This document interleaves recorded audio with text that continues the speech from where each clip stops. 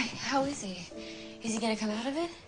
I don't know, Miss Jackson. We've done everything we can, and it's all up to him now.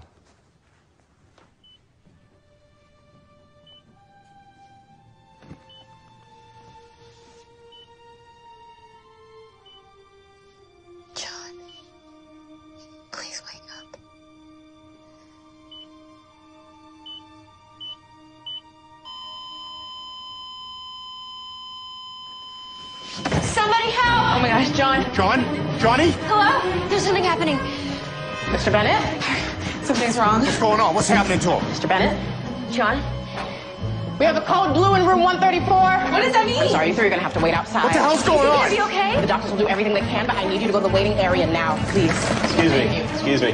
What's the status? He was stable a minute ago, and now he's unresponsive. The monitor says he's in asystole. He's not breathing, no pulse. Start compressions. Prepare to intubate. Give him a milligram of epinephrine.